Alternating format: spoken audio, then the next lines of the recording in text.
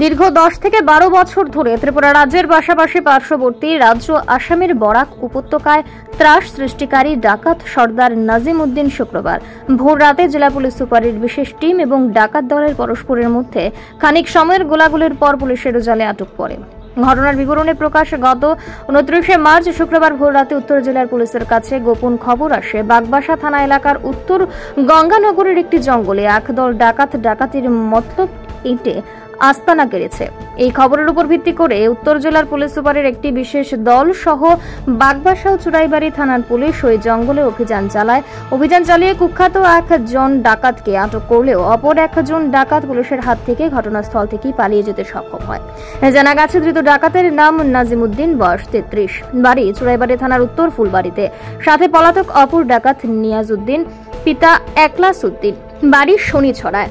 এদিকে জঙ্গল থেকে দুটি দেশি বন্দুক, দুটি দা, দুটি কাঁটার সহ কয়েকটি লাঠি উদ্ধার করে পুলিশ। শনিবার তাকে উত্তর জেলা ও দায়রা আদালতে সোপর্দ করা হলে মাননীয় বিচারক পাঁচ দিনের পুলিশ রিমান্ডের নির্দেশ দেন। উত্তর ত্রিপুরা জেলা সহ অন্যান্য জেলার একাধিক থানায় তার বিরুদ্ধে চুরি এবং ডাকাতির ওয়ারেন্ট রয়েছে। অবশেষে রবিবার দুপুর সোয়া বারোটা নাগাদ সাংবাদিক ডেকে গোটা ঘটনা তুলে ধরেন জেলার পুলিশ সুপার ভানুপত চক্রবর্তী মহাশয়।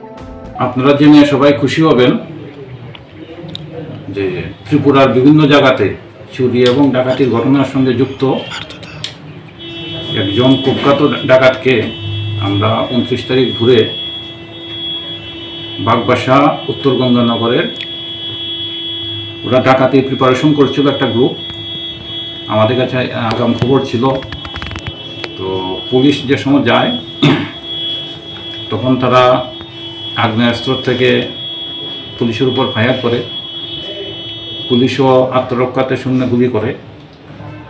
শেষ পর্যন্ত আমরা কুখ্যাত ডাকাত দলের সর্দার বলা যায় তাকে যেটা সম্বন্ধে আপনারা সবাই অবগত আছেন।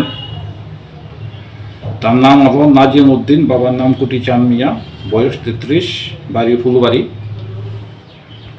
তাকে আমরা হাতিয়ার সহকারে এবং ডাকাতির যে প্রিপারেশন করেছিল সেই প্রিপারেশনের আপনারা সামনে দেখেছেন।